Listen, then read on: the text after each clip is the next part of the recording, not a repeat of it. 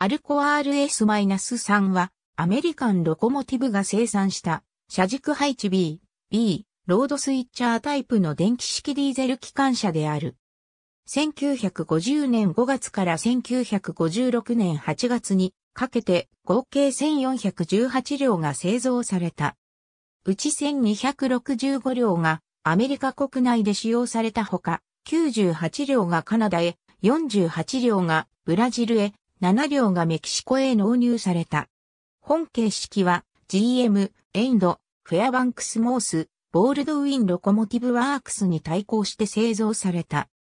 1950年、フェアバンクスモースは1600馬力の H-16 から44を、また同年、ボールドウィンはやはり1600馬力の AS-16 を開発していた。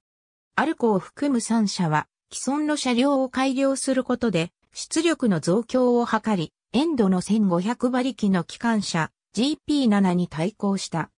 エンドは他社が出力増強を図っても GP7 の製造を続け、エンドがようやく出力を1750馬力とした GP9 をリリースしたのは1954年であった。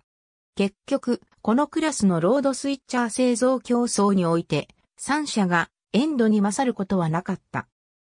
エンドは GP7 だけで2729両を製造したが、アルコは RS-2 を383両と RS-3 を1370両の計1753両、フェアバンクスモース GH15 から44を30両と H-16 から44を296両、ボールドウィンは DRS-4 から4から15を32両と AS-16 を127両製造して終了した。